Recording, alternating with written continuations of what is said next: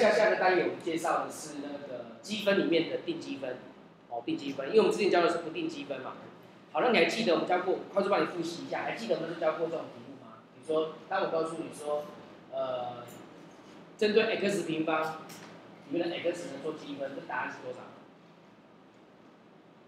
是不是先把那个次方先加一，对不对？然后变成三，然后把三呢放到前前面去，变成乘乘上一个三那个三个导数嘛。所以答案应该是多少？三分之一 x 三次方，对不对？然后再加多少？c，还记得吗？然后我说为什么要加 c 的原因，就是因为你的那个呃，因为微分跟积分是互为所谓的反函数嘛，对不对？互为反函数，所以当你在微分的时候呢，那个常数项部分会消掉。所以当你反推回去的时候呢，当你把它找找回原来，既由积分找找回原来微分前的那个函数的时候呢，你就无法判断。它的常数项多少？因为三或者是十七或者是八，任何常数项经过微分之后都会变成都都会消失不见嘛，对不对？所以我们说，当我们讲不定积分的时候呢，会自动加一个什么东西？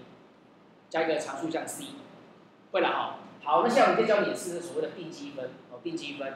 那什么是定积分？告诉你说，来，我们看这里，它的基本的定义就是说，我们假设 f of x 是这个符号的意思是说，呃。介于 a x 呢，介于 a 到 b 之间，一个介于 a 到 b 之间的一个连续函数。好，那么我们说，如果我把这里的那个 f x 啊，这大写的 f x 啊，经过一次微分以后得到一个小写的 f x 也就是说，这是经过微分之后的结果，对不对？那我如果找之前的的那个呢，就是经过，就是用什么动作做？做积分嘛，对不对？所以我们写成。积分，然后 f of x，对不对？那这里的 b 跟 a 指的是什么东西？就是 a 到 b 之间的什么函数是多少？这样子会了哦。那你这样小小心一下，就是这里写 a，这里写 b，注意一定是上面减下面。听懂我意思吗？哦，一定从上面减下面。所以这边一般讲话，我们数字比较大的放上面，数字比较小的放下面。这样子会了哦。那我们举个例子好不好？举个简单例子给你看，比如说。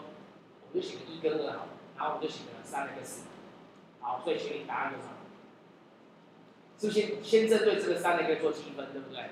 所以答案是应该是二分之三，对不对？然后呢，x 平方，然后加 c，原本是写加 c 哦，然后呢，我们这边写的就把这里的二跟一摆在这里面，这里的二跟一指是什么意思？你知道吗？指的是这个 x 呢改成多少？改成二，还有呢一。好，当你的 x 带二的时候呢，会变多少？变成二分之三，二的平方加 c，这个是当就像当于什么东西 f 二的时候，然后你要减掉谁？你知道？减掉一的时候，当它 x 大于一的时候，就变成多少？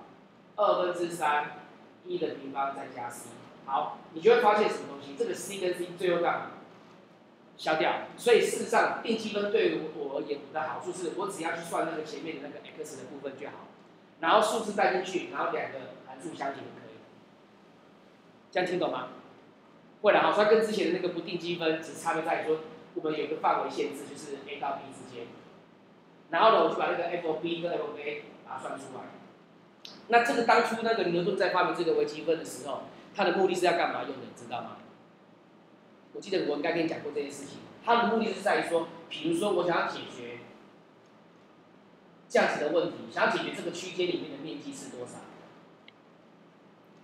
听懂吗？所以我们今天告诉你一个重很重要的观念，是说在函数在这个 a 到 b 这里，这里是 a，这里是 b。好，然后我们说这个曲线呢是这个 f of x，f of x。好，我们就说哦，x 等于 a 跟 x 等于 b 这个地方，还有跟 x 轴所围成这些面积呢，就是这个答案。所以这块面积呢就相当于 f of x，ab，然后 dx。哦，也就是针对这个 f 做积分的动作。然后呢，这带 a 跟 b 这一边所算出来这个结果，就相当于这块面积，这样听懂吗？会了哦，可以，OK，好，那么这边呢告诉你说，如果假设 f of x 跟 g of x 连续的话，则它们两个各自的那个，呃，在 a 跟 b 之间所围成的面积就直接两个相减。好，什么意思？比如说我举个例子，假设这条线是 f of x。然后呢，另外有一条线，这样子，这条线是 G o X。好，那这一块是这个点是 A，这个点是 B。我们如果求这一块面积的话，那怎么办？你就拿 f o x 做积分，算出来这个面积，对不对？减掉 G o X 这块的面积，剩下就这一块斜线的了。听懂我讲的意思吗？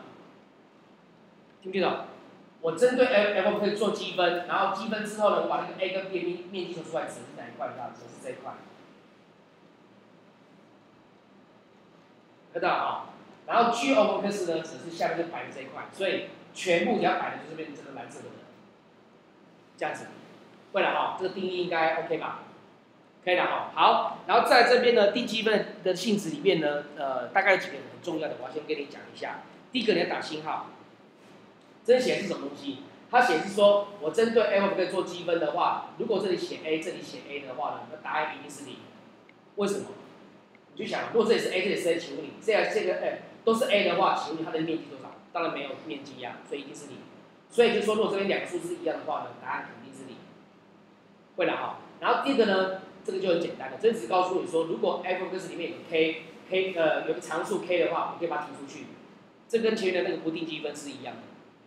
会了啊，好，然后第三个告诉你也是跟前面一样，就是说，如果我算出来那个呃我要求的这个函数里面呢是可以拆解的话，我就可以分成两个两个不同的这个什么函数啊去做积分，然后把它面积算出来就可以了。这个应该没问题吧？比如说我举个例子好了，x 平方减二 x，然后取个一三，这怎么办？这个可以写成这样子，一三 x 平方 dx 加上。一三负二 x dx，这可以吧？然后再各自做各自的积分嘛。那当然你可以，可以你说老师可不可以一次直接全部做积分？当然可以啊。听懂我意思吗？会了哦，可以好。然后再来第四个的话就很重要，第四个打四颗星，这个是非常重要的。这边告诉你是说，如果我针对 f 做积分，然后我要求求 a 到 b 之间的面积的话，它可以写成的是 ac 到 bc，什么意思？他的意思说，他的意思这样讲，他说，假设这个积分，这个是我要的图，对不对？